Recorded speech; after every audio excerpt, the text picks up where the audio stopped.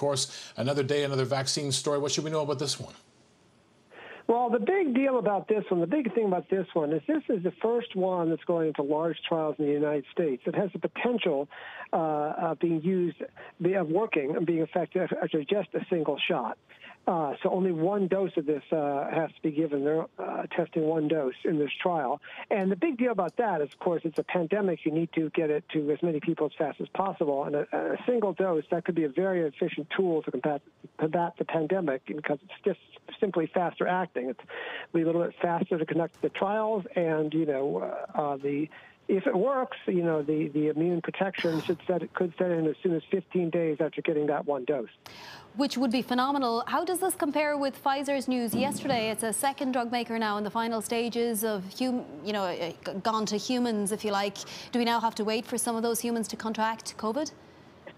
Uh, yes, we certainly, for any of these vaccines, any of these trials, you know, they, they, their estimates of efficacy are right now are based on animal studies showing immune responses and early stage human studies showing kind of immune responses, antibodies produced in the bloodstream. But what we don't know about is like what kind of antibodies and, and what kind of immune response is needed to be induced inside the bloodstream uh, to to make to prevent COVID-19 in actual vaccines. So there's no actual efficacy data yet showing any of these vaccines, you know, prevents COVID-19 and, and importantly prevents like the more severe cases of COVID-19, which is the most important thing.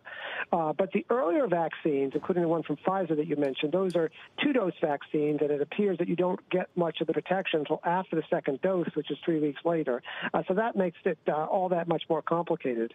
And the second thing about J&J's vaccine, which they're touting, is that their vaccine, unlike some of the, the Pfizer vaccine, can stay in the refrigerator and be stored at refrigerator refrigerator temperatures for quite some time, whereas Pfizer's vaccine needs to be uh, frozen at very low temperatures for long storage, term storage, making the distribution that much more complicated.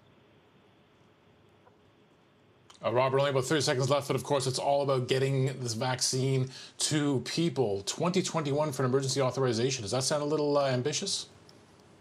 Well, all you know, all the timelines for these are quite ambitious and kind of you know record-setting if you look at the details of the J&J trial, they've actually, apparently at the request of the U.S. Food and Drug Administration, uh, put in some extra uh, extra stringent steps uh, in their trial uh, to make sure that it's not stopped early without collecting any data on people who get severe cases. Because, you know, what you don't want to do is you don't want to end up with a vaccine that gets an emergency authorization based on, you know, preventing a handful of mild cases, and then later on find out, oh, it doesn't do much to prevent the, the severe cases, the hospitalizations, which is the most important thing. So they're yes. not going to stop their trial until there's some evidence it's uh, at least you know helping a bit in the severe cases. So there's some more extra steps there to gather more data.